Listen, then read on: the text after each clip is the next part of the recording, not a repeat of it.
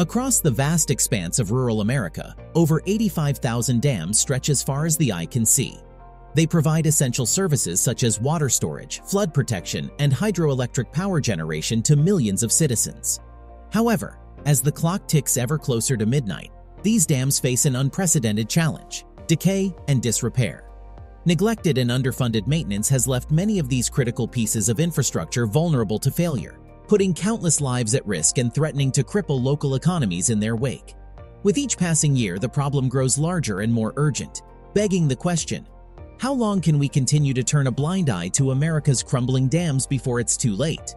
Hello everyone and welcome back to Civil Mentors. In today's episode, we'll reveal the jaw-dropping cost of fixing these ticking time bombs and why it's so important to take action. Picture this. Over 88,600 dams scattered across the United States, many of them well past their expiration dates.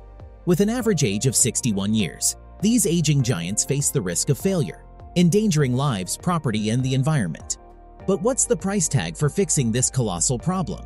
A staggering $157.5 billion. Yeah, you heard it right. According to a report released by the Association of State Dam Safety Officials in February 2023, it would cost around $157.5 billion to rehabilitate the nation's 88,616 deficient non-federal dams. This sum is significantly higher than the amount of federal assistance available to do so. The price tag to remediate just the most critical dams is estimated at $34.1 billion.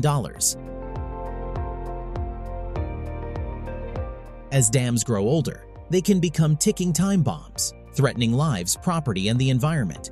The number of high-hazard potential dams, where failure could likely result in loss of life, has increased by almost 20% to over 16,000 in the last 10 years. With every passing year, the stakes grow higher. It's a race against time to avert disaster. The Federal Infrastructure Investment and Jobs Act includes funding for dam rehabilitation. However, the study indicates that the allocated $4 billion investment over five years is not nearly enough to address even the most dangerous of dams. In addition, the lack of funding and insufficient oversight have contributed to the decline of dam safety. A report by the American Society of Civil Engineers, or ASCE, in 2021 gave the nation's dams a D grade for their overall condition and estimated that over 2,000 dams in the U.S. were deemed to be in high hazard potential condition. Not only are costs of dam rehabilitation high, but they are also rising significantly, that's due to a combination of factors, including higher costs for construction materials and labor and the increased breadth of engineering studies and analyses. ASDSO also found funding and permitting constraints contribute significantly to the slower rate of completion. As maintenance, repair, and rehabilitation work is deferred, costs will only rise further. One example of a dam that needs significant repairs is the Oroville Dam in California. In 2017, heavy rainfall caused the dam's spillway to fail, leading to an emergency evacuation of nearly 200,000 people. The cost of repairing the Oroville Dam was estimated to be around $1.1 billion. Another example is the Edenville Dam in Michigan, which failed in 2020, leading to flooding and property damage. This dam had been cited for safety violations for years before its failure. The cost of repairing or replacing the Edenville Dam was estimated to be around $282 million. When a dam fails, it's not just the nearby communities that are affected. The ripple effects can be felt far and wide, impacting water supply, flood control, recreation, and clean renewable energy. Imagine entire towns submerged, ecosystems devastated, and critical infrastructure washed away. That's the reality we face if we don't tackle this issue head-on. So what is causing the deterioration of these dams? One of the main causes is aging infrastructure. Many of the dams were built decades ago and have not been adequately maintained or updated. Climate change adds another layer of complexity to the dam crisis.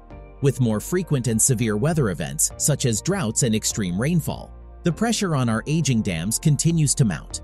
Addressing the dam crisis isn't just about fixing what's broken. It's also about building resilience to face the challenges of a changing climate. So what can be done to address the issue of crumbling dams in the U.S.? One solution is to increase funding for dam repairs and rehabilitation. To ensure the safety of our nation's dams, we must maintain high funding levels to address the thousands of dams needing rehabilitation. Another solution is to improve dam safety regulations and oversight. The Federal Energy Regulatory Commission, or FERC, is responsible for regulating dams used for hydropower generation, but many dams are not subject to federal oversight. Increasing federal oversight of dams could help prevent failures and improve public safety. It's also essential to educate the public about the importance of dam safety and the potential consequences of failing to maintain these structures. Many people are unaware of the risks posed by deficient dams, and greater public awareness could lead to increased support for funding and regulation. The state of U.S. dams is a significant concern, with many structures in need of repair and rehabilitation, and the cost of repairing these dams is significant. But the consequences of not addressing the issue are far more severe. By increasing funding for repairs, improving regulations and oversight, and investing in infrastructure updates, we can ensure the safety and stability of our nation's dams for generations to come. We must act now to prevent catastrophic failures it's a battle we must face together for the safety of our communities and the future of our environment. As always, thank you for watching and don't forget to like, share, and subscribe for more upcoming videos.